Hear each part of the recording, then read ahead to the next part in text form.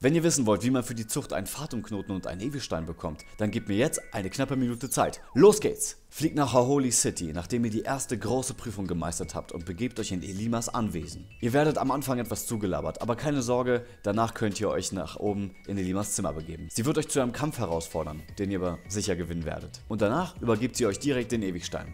Ziemlich einfach, nicht wahr? Mit dem Fatumknoten sieht es aber doch etwas anders aus. Sicherlich könnt ihr den Fatumknoten sowie den Ewigstein auch in der Battle Royale Arena für BP eintauschen. Doch für manche ist das zu viel Aufwand. Deswegen zeige ich euch eine Alternative. Züchtet euch Yorklef, die ihr in der Nähe der Pension fangen könnt. Wichtig ist, dass sie alle die Fähigkeit Mitnahme haben sollten. Um das Züchten etwas schneller zu machen, klickt doch hier rechts auf das Tutorial und es wird euch erklärt, wie ihr die Zuchtgeschwindigkeit sogar mehr als verdoppeln könnt. Selbstverständlich könnt ihr auch so viele Yorklef fangen, bis ihr 6 habt, die die Fähigkeit Mitnahme beherrschen. In der sechsten Generation war es noch so, dass man Level 50 haben muss, um überhaupt per Mitnahme einen Fatumknoten zu erhalten. Diese Mechanics haben sich wohl in Sonne und Mond etwas verändert. Denn mein Yorklef auf Level 23 hat schon innerhalb von wenigen Kämpfen einen Fatumknoten gehalten. Zur Sicherheit habe ich natürlich trotzdem alle Yorklef trainiert, weil ich nicht davon ausgehe, dass sie auf Level 1 einen Fatumknoten tragen können. Wenn dies dennoch passiert, schreibt doch gerne das unten in die Kommentare.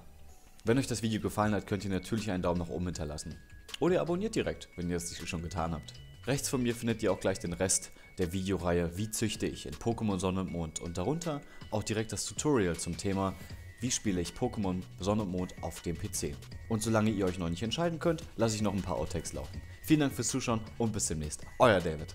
Züchtet euch, züchtet euch Yorklef, züchtet euch Yorklef, züchtet euch Yorklef, die in ein um das Züchten etwas schneller zu gestalten, klickt doch einfach hier links auf das Tutorial. Äh, links, das ist rechts. Scheiße. Hier auf das Tutorial. Da. Oh.